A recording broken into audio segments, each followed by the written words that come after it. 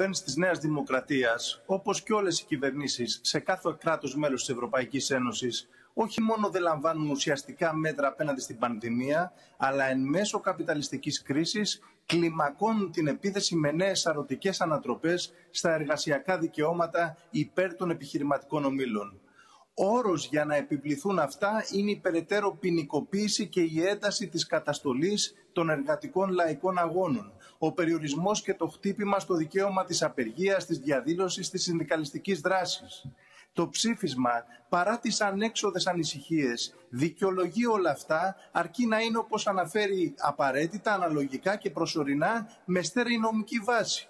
Ενώ καλεί τα κράτη-μέλη να περιορίσουν το δικαίωμα στη διαδήλωση, όπως λέει, μόνο όπου είναι απολύτως αναγκαίο και δικαιολογημένο. Ενιεσλάστιχο δηλαδή. Στο όνομα της πανδημίας δίνει επίσης πράσινο φως για εφαρμογές ιχνηλάτησης και κάθε φακελώματος επεξεργασίας προσωπικών δεδομένων με την οργανωμένη πάλη του για τις σύγχρονες ανάγκες του ο λαός στηρώντας όλα τα μέτρα προστασίας θα υπερασπιστεί τα δικαιώματά του ακυρώνοντας την πράξη αντιδραστικούς νόμους και διατάγματα.